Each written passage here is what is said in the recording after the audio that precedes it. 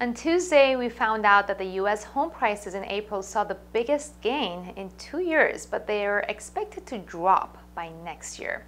The Spanish unemployment rose in May.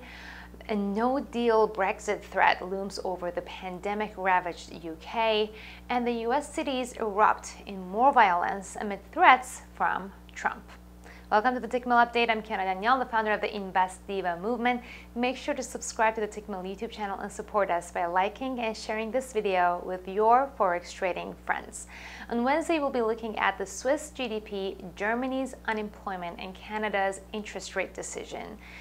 Today, I'm looking at the CAD yen pair, which finally broke above the consolidation range as well as the daily Ichimoku cloud beginning of the week and reached the key resistance level and the 38% Fibonacci retracement level of 80.58.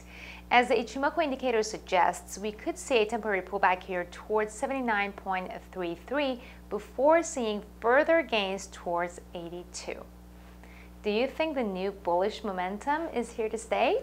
Head over to the comment section and let me know. Of course, trading in the financial markets involves a risk of loss and you should only trade the money that you can afford to lose.